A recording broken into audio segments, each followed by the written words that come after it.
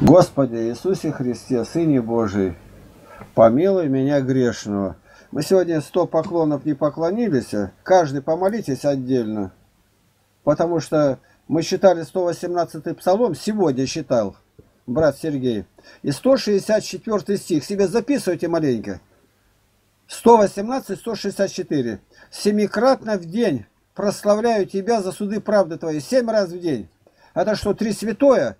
Ну, как раньше Царю Небесное считалось, но сейчас Христос воскрес из мертвых, и до отче наш досчитал, и сто поклонов, и своими словами, и не менее семи раз, семикратно, седмикратно в день.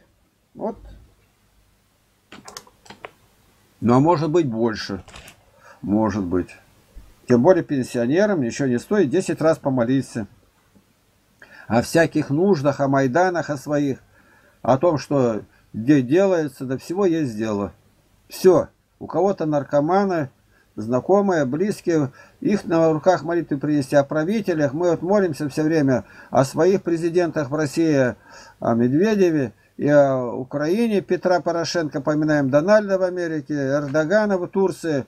Все время, каждый день. И просим мира Израилю. Я просто говорю. Молимся пророкам, если поминаем всех пророков. Надо знать, где и что сказать. Так, мы сейчас начинаем э, записывать события дня. Номер 500. События дня. Вот удивительно, кто-то